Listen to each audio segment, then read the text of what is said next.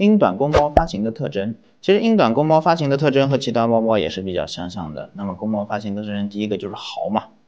啊，整天在那边窗户旁边嚎，在门旁边嚎，然后这个时候你一定要注意门窗要关好。那门不要随意打开，打开前后呢，要注意它的情况，因为这个时候往往会到处乱窜。因为公猫都是诱导发情，它一定是听到了母猫的叫声啊，或者是闻到母猫气味啊，或者是啊看到了这个母猫，所以它才会有发情这样的情况。所以它为了找别人，那这个时候有的时候跳楼啊，或者是离家出走啊，都有可能。所以这个时候一定要给它管好。那甚至呢，有的时候你会发现它乱尿尿，啊，也在墙角尿，在到处做标记，其实它就是为了把自己的气味呢能够铺洒开来，能够吸引那个母猫的一个注意，